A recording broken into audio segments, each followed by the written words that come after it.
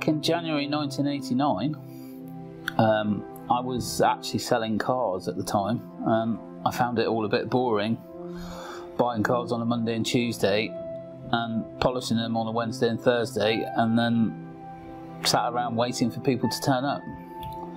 So I had an idea to earn money from collecting waste. Um, so I went to an auction, bought a bit of a rubbish van, to be honest, um, for four hundred pounds because um, I couldn't afford any more than four hundred pounds, and started basically was a man and van service in the early days, and this was before one of the first well, the first recession I've ever experienced. I didn't really know what a recession was until I started a business in one, um, which was sort of early 1990 when interest rates went through the roof to 15%. Um, it changed our business model straight away from a domestic um, operation where we were collecting waste from houses to more of a commercial operation where we started expanding into collecting waste from businesses because people's um, domestic spend had dropped off massively. So we had to diversify very early on um, into commercial waste and clinical waste um, because it was something that was always there, almost regardless of the economy. Um, so that developed over a couple of years. We went from one van to four vans um, reasonably quickly, but none of the vans were particularly good. So, uh, um, and then in 1994, um, um, I bought our first skip lorry, um, which was actually for moving clinical waste on a new contract we'd won. But as part of that, we ended up with some domestic sized skips, so we started our skip hire operation, which by 1997 we'd become the biggest skip hire operator in Exeter, uh, having taken over um, one of the longer standing uh, family businesses in Exeter who were retiring.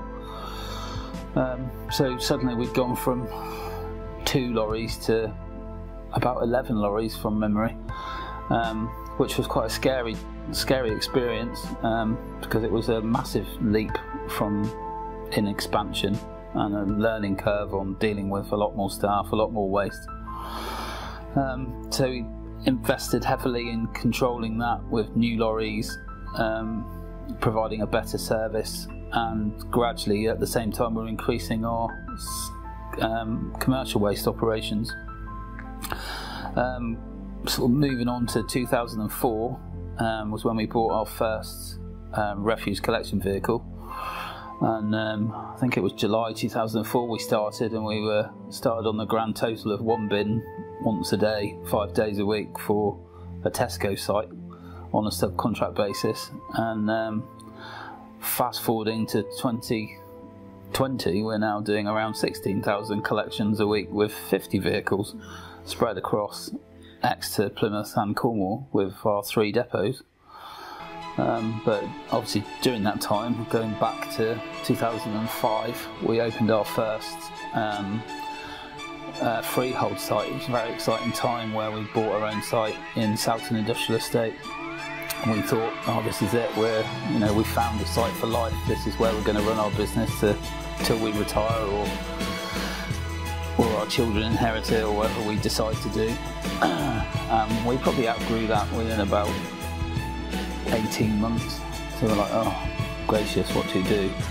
Um, so during that time, we actually took over a couple of commercial waste competitors, um, one from Newton Abbot, one from Exeter, which gave us quite a big leap into the commercial waste market, yet again growing that area.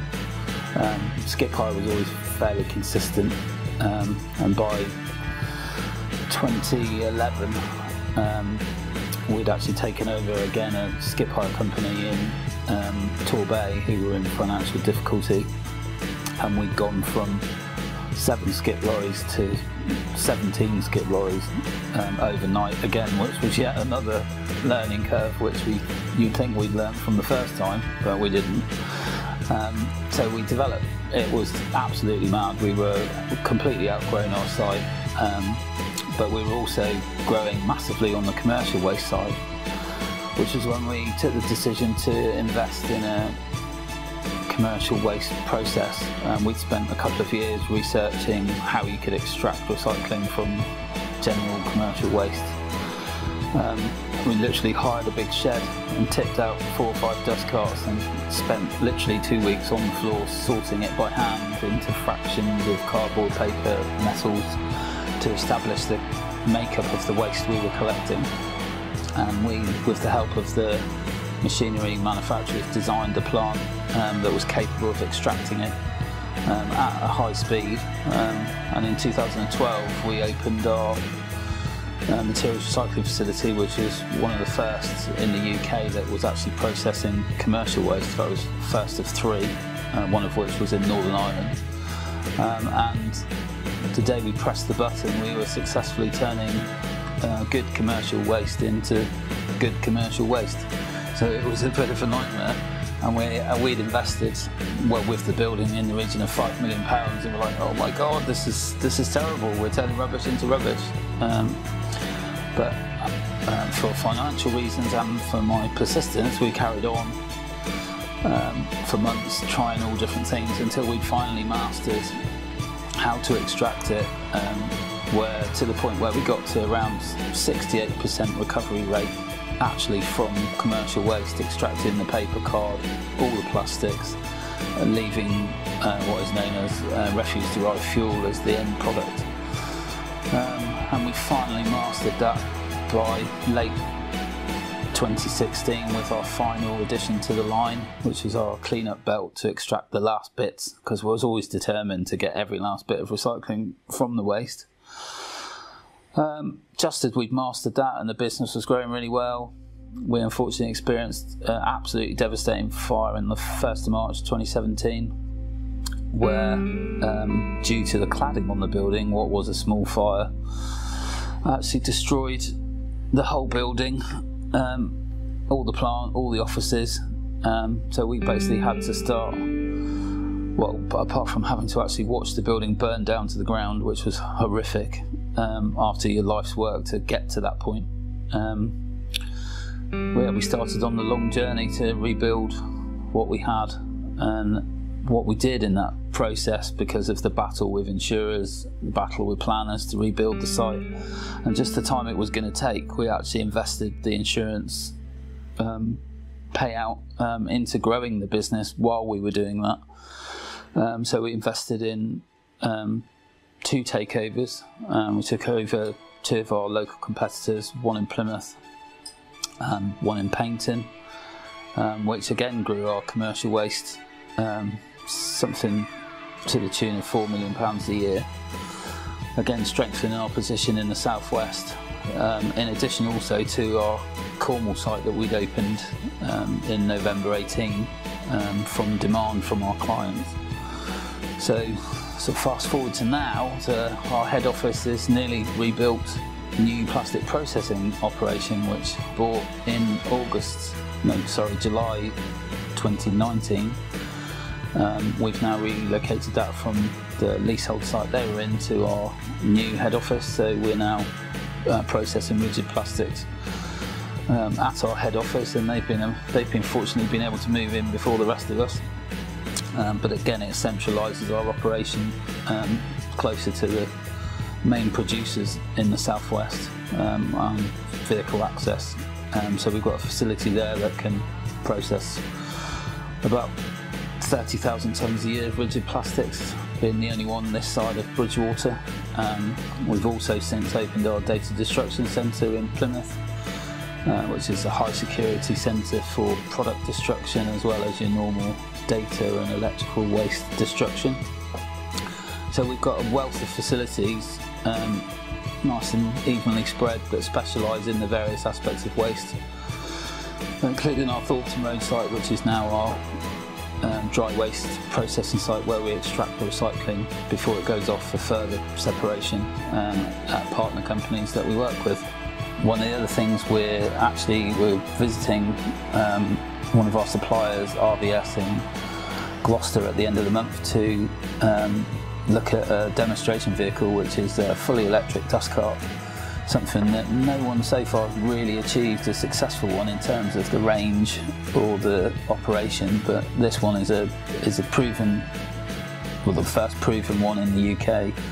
Um, so we'll be trialling that in Exeter uh, and Plymouth in the next few months with view to adding electric um, RCVs within the next 24 months um, in certainly Plymouth and Exeter, um, again to completely eliminate the CO2 impact on, on the biggest rounds. Um, it's a big expensive um, choice for us, but we feel it's the, you know, we need to be pioneers as we have been with everything else we do with our, the first zero to landfill company in the southwest. Um, again, you know, just to, to push the boundaries um, you know, testing technology, um, even if it's our competitors that also benefit from it in the long run. At the end of the day, it's you know we're we're here to protect our environment and maximise the resource that can be extracted from the waste we collect. Mm, did you want to add about your your project? Uh, so as a result of our takeover of Polymer Industries, which we've renamed to DCW Polymers, as a way of launching the new side of DCW, we in Christmas 2019 decided to recycle all of the confectionery tubs for, that are generated over the Christmas period. We've all got them, the celebrations tins, heroes tins, they're everywhere at Christmas. And we walked into the supermarket and thought, this is so much plastic that the country must use. So we decided to do something good and try and recycle as much as possible of these tubs. So we've got lots of partners with our customers and also other businesses in the southwest that weren't customers at the time but have since joined forces with us um, to collect these tubs and raise money for charities. So we called the project Recycle and Raise and we joined forces with about 250 organisations around the southwest, literally from mid Somerset down to Cornwall and we managed to raise about £1,500 for Dartmoor Zoo. The zoo itself also helped with the recycling and we managed to do a TV interview with lots of the animals posing with some of the tubs in a very safe way. It was quite fun filming that as well. Yeah. So. but also a lot of the local authorities in our areas don't actually collect the tubs for recycling, so it wasn't. It was actually doing something that was destined for landfill or or for waste to energy. So it was, you know, it was a, a worthwhile project in itself. And also creating awareness to make people aware and actually think about the plastic they could be using. We all think, oh, it's reduced to £3.50, let's get a couple of tubs for the office. And no one really thinks of the impact that that will further have on the environment once you've bought it. all, the all the calories. All the calories. I think we were going to work out the calories, weren't we? We for... did work out the calories. Oh, we did? We recycled, we recycled about two tonnes of chocolate tubs which we calculated to be approximately 1.2 million calories. Wow, that's a lot of that's a lot of gym lot sessions. Of yeah. yeah. um, and we're hoping, obviously, to run the project again in Christmas 2020. Um, it will be a lot different this year with the COVID restrictions yeah. and how that will play out, but we're pushing it and we'll hopefully combine it with Halloween this year as well. Hmm. We expect people to eat more chocolate this year as well, really, because there's nothing else to do. Yeah. Can't go out, so just will eat chocolate. Yeah, and then recycle the tub. Yeah, and um, also now proud to have my family involved in the business. My uh, eldest child, that Emily's been here since. How long have you been here? Since I was 19. Since you were 19, so nearly five years. Part time since I was about three. Part time since I was about three. So Emily's learning the ropes um, so that one day I can retire to Mallorca, which is uh, my passion. Um, but yeah, so it's exciting time for the business. We're growing across the southwest, enjoying what we do. We've got a fantastic team of people, ever growing. Um, we're up to about 122 of us now. Um, we're all passionate about the environment and what we do. I'm passionate about our clients and uh, the charity work that we're able to do as a result of the business. But we have two um, two orphanages now in Uganda that we support. One has just joined us this month um, as a result of the previous funder not being able to because of being seriously ill. And also, her son is facing unemployment in the United States. Um, so we've taken over the support of another one that's much smaller. Um, so at the moment, we've the first one we look after 137 children in terms of education and feeding.